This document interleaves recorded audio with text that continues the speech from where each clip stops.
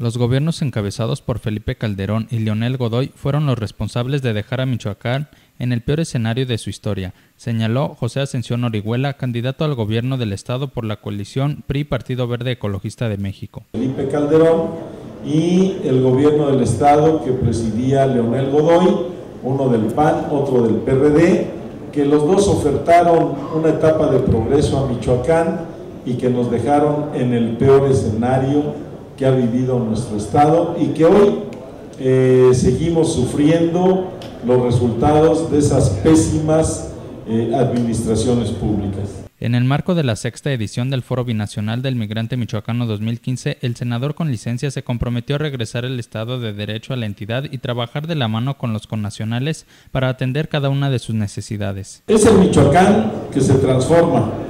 En este Michoacán, los migrantes, ustedes, paisanos y amigos son indispensables.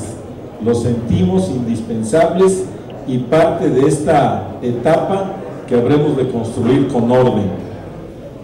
Quiero trabajar de la mano con ustedes para atender cada una de sus demandas y necesidades. Orihuela lamentó que por falta de políticas en favor de los migrantes, del 2005 a 2012, Michoacán fue el segundo estado que registró el mayor flujo de migrantes hacia Estados Unidos con más de 150 mil personas. Con información de Sandra Sáenz Informa, Cuasar TV.